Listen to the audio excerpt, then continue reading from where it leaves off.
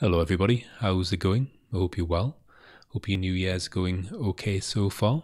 Or even better than okay, ideally. Hope it's going splendidly. Um, if not, you know what to do. Come along to one of our classes. But the reason that I'm really on today is to let you know about a new event that we've got happening. New's good, isn't it? We like new. So this Saturday we've got a new event Prayers for World Peace and Centre Cherishing Morning. It's combining two events actually.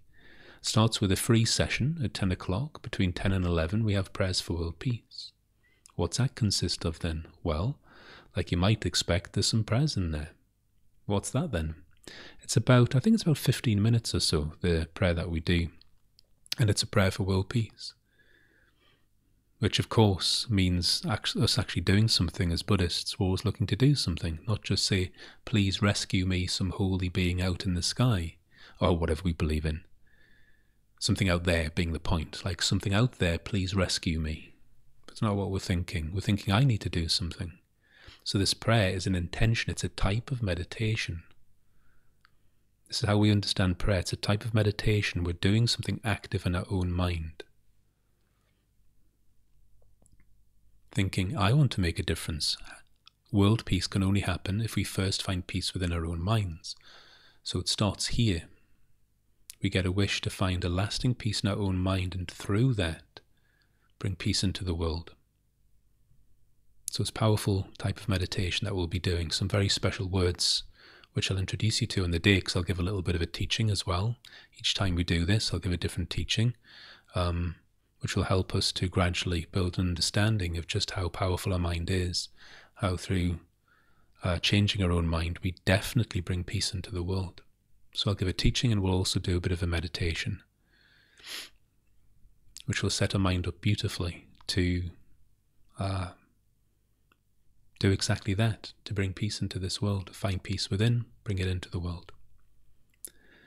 But then, this is why these two things work so well together because we need to put that intention into practice.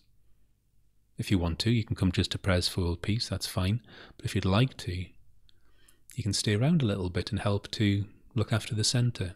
Everybody who comes to the centre appreciates how good it feels to arrive here because it feels cherished.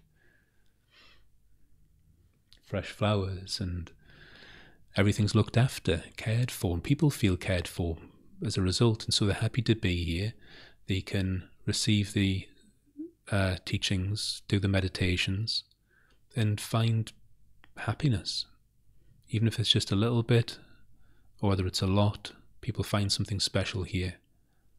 And so by helping this place, just you know, cleaning, if you've got DIY skills, that's great, we always need it. But you know, different things that can happen.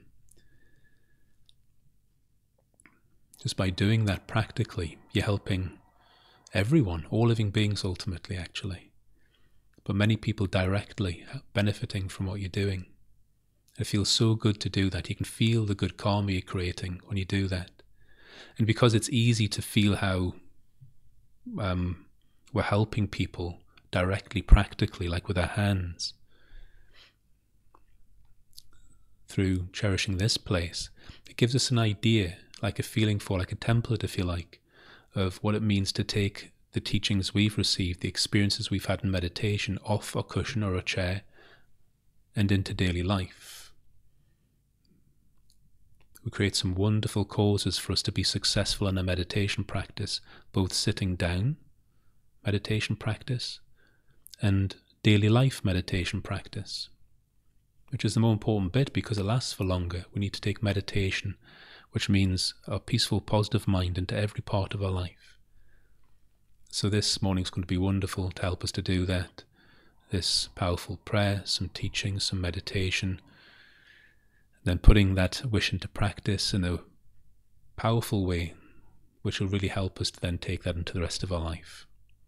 then so if you can join us for any part of uh, Prayers for World Peace and or Centre Cherishing Morning or even part of Centre Cherishing Morning, that goes from 11 till 1, but you can come along for any part of it. We have lunch together at 1, nice social event too. Uh, then you'd be very welcome along. It'd be lovely to have you. Just turn up this Saturday, 10 to 11 Prayers for World Peace, 11 till 1 Centre Cherishing, followed by lunch. It'd be nice to have you for any or all of that. Just come along. Be nice to see you. Thank you.